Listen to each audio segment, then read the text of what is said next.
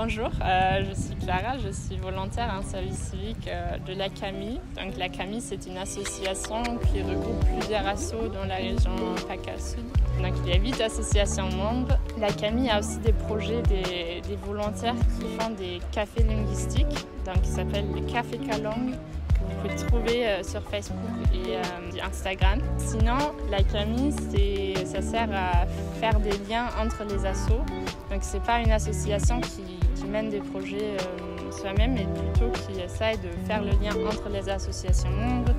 Vous pouvez contacter la CAMI et la CAMI peut vous rediriger vers les associations qui ont des projets, par exemple en Asie ou des projets culturels. Donc si ça vous intéresse, on a Facebook, on a Instagram, on a un site web